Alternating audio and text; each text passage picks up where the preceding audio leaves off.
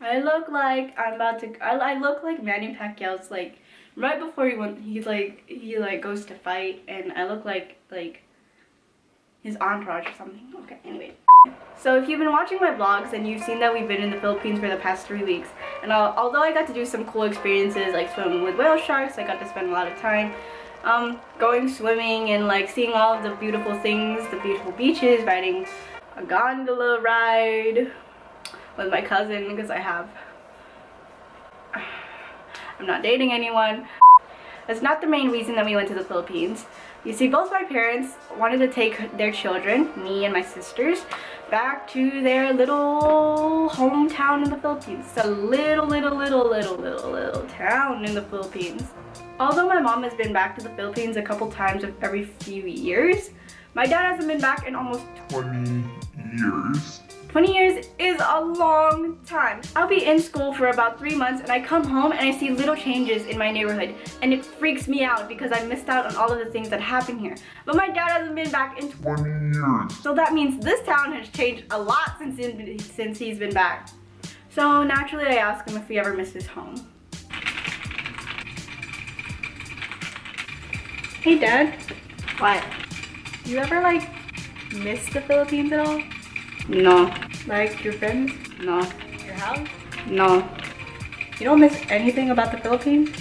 I go back to the Philippines when I have everything I need here. I have my beautiful home, I have my wife, I have my three children Who don't listen to me. I have my radio talk shows, and I have Rod Stewart. I like Rod Stewart.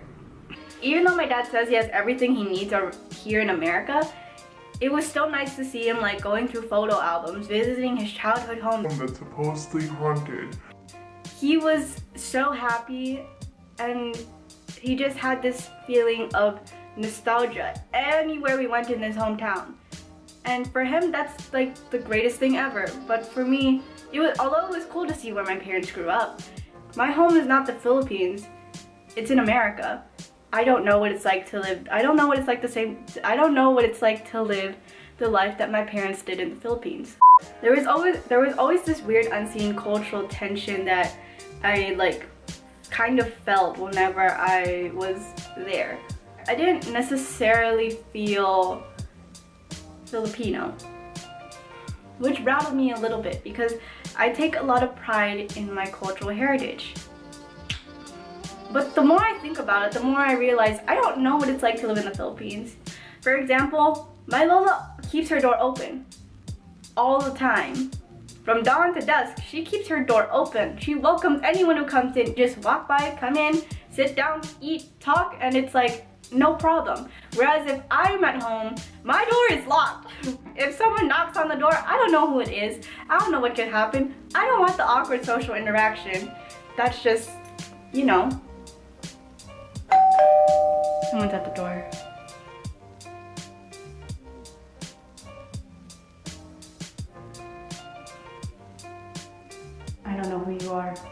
Although I'm proud of my cultural heritage, I don't know what it's like to live there. I don't know what it's like to ride a boat to get to places. I don't know what it's like to go to a market to get fresh, to get groceries each and every day. I go to the supermarket, to the Walmart closest to me, which even then takes a car to get there in a in about 15 minutes. And although my parents were from the Philippines, the first language I ever learned was English, and it's the only, not the only language. I took Spanish three years in high school. It was a little weird. Don't really know how to speak Spanish that much anymore. Anyway, side note. It also made me think about why did my parents move to America? Whether it's your parents or your grandparents or your great great great great great great grandparents, it's most likely that they came for the same reason as most immigrants do. They want a better life. Although America has had its problems in the past and in the present and probably in the future, it's still seen as a land of opportunity. And it's the reason my parents moved from the Philippines to America. It took being out of America to realize how much being American is a big part of my identity. From the Philippines to America, they brought on their own set of values, cultures, traditions, and practices back in America into this household that I've lived in for almost 20 years. With those practices that my parents use, they've created kind of an environment where I get to experience somewhat of a Filipino culture while also experiencing a different culture outside of the household.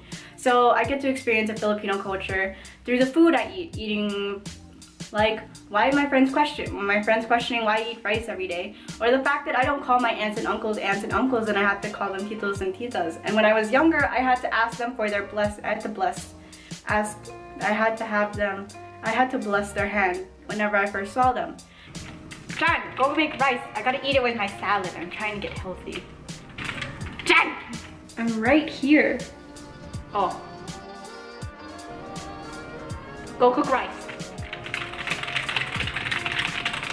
And although we take pride in our cultural heritage, and we take pride in the idea of the diversity that we have, of the diversity that we do have in America, we don't, we over the, we overlook the idea that deep down inside, we're all Americans.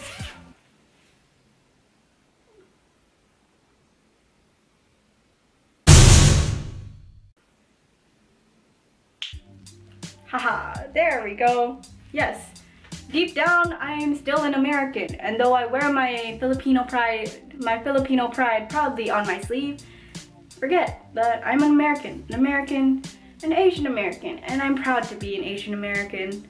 Whoever started the story of America in your family, you are in the place that has its own unique benefits. Getting to experience different cultures in a more intimate way, building and building relationships with people of different backgrounds, different cultures, different beliefs. It's uh, although America does have this um, this ongoing thing right now of what is of cultural tension, we can't deny the fact that we are in a place of we are in a place that is full of diversity. To see that we're all, although we're all different, we are one and the same, and that we're all American. If it weren't for my parents picking up their stuff and starting a completely different life in a completely different country, I wouldn't be here saying thank you. Thank you for allowing me to see different parts of a bigger story. Story that happens thousands of miles away where my heritage come from, comes from. And having the story of America be part of my identity. And if you think about it, this is all one big complex story of culture and changing and on asking ourselves, where do we go from here? What are your thoughts on this? Where does your story in America start? Did it start with your parents like mine did? Your grandparents? Or did it start with your great, great, great, your many great grandparents or whoever started it? Thanks guys for watching and uh, letting me talk this out as I figure out my own, my own thing. Subscribe down below if you want to be notified of more of my videos. I make videos every week. Give this video a like. Again, leave a comment down below telling me what you think, what you thought of this video. And, um, I think that's it. Okay, bye guys.